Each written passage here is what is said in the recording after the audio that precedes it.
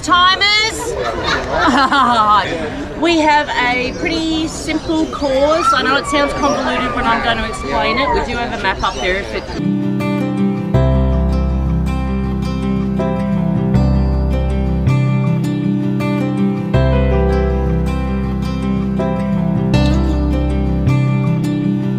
Chaz's last shift as our run director here.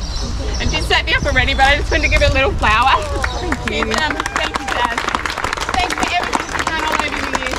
Um, 416 at Capalaba parkrun. Welcome, welcome to my last hurrah. Thank you very much to everybody who's turned um Brett. Yes. Happy 300th run. Woo! Of you afterwards with the doobers. Thank you to my fabulous volleys.